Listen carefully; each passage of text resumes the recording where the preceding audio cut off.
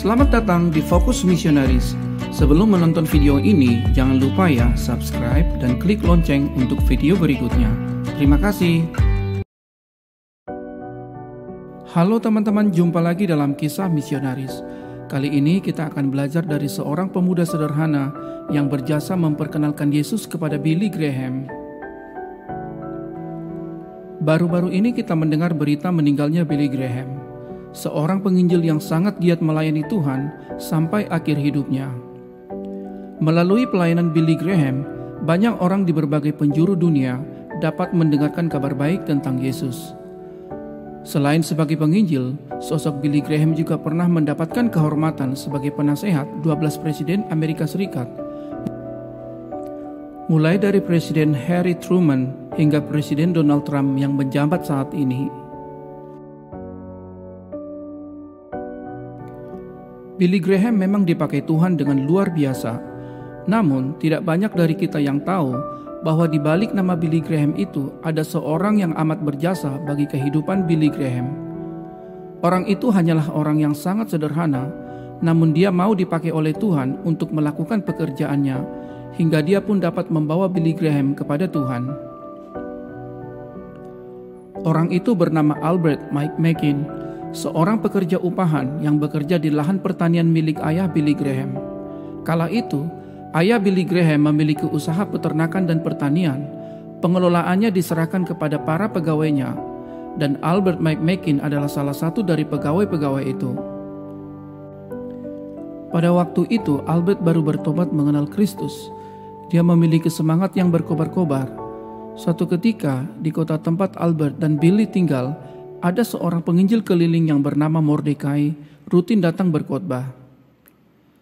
Albert sering mengajak tetangga dan teman-temannya untuk datang dan mendengarkan khotbah penginjil itu. Beberapa orang yang diajaknya itu ada orang-orang yang menerima Yesus. Hari-hari pun berjalan, hingga suatu hari Albert teringat kepada Billy Graham, anak sang majikannya yang belum percaya kepada Yesus. Saat itu, Billy adalah seorang remaja yang nakal yang suka minuman-minuman keras. Albert pun memberanikan diri untuk mengajak Billy Graham mendengarkan khotbah yang diwartakan si penginjil keliling itu.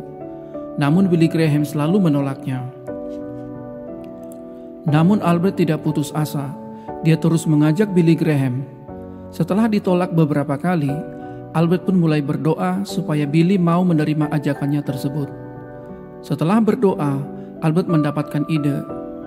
Karena Billy tidak mau diajak mendengarkan khotbah-khotbah secara langsung, akhirnya Albert meminta Billy untuk menyetir mobil pickup untuk menjemput para tetangga dan teman-teman yang akan pergi mendengarkan khotbah penginjil keliling itu.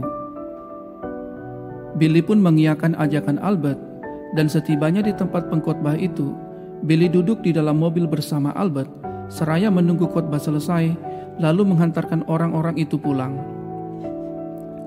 Kejadian itu terus berlangsung beberapa kali, dan Albert terus berdoa supaya Billy Graham mau turun dari mobil dan mau duduk untuk mendengarkan khotbah-khotbah penginjil itu. Setelah beberapa waktu berselang, hati Billy Graham mulai tergerak dan ia pun mau turun dari mobil. Pada tahun 1934, di musim gugur, Tuhan menjawab doa-doa Albert. Kuasa Tuhan benar-benar bekerja dalam kehidupan Billy Graham dan ia pun menerima Kristus sebagai Tuhan dan Juru Selamatnya. Keputusan Billy Graham pada hari itu akhirnya membawa Billy Graham menjadi seorang pelayanan Tuhan yang sangat setia. Ia telah mengabarkan Injil hampir 215 juta orang di lebih dari 185 negara melalui KKR dan radio maupun televisi. Dan sepanjang sejarah pekabaran Injil, Billy Graham adalah satu-satunya orang yang mengabarkan Injil secara langsung kepada jutaan manusia di bumi ini. Melalui kisah ini, kebenaran apa yang dapat kita pelajari?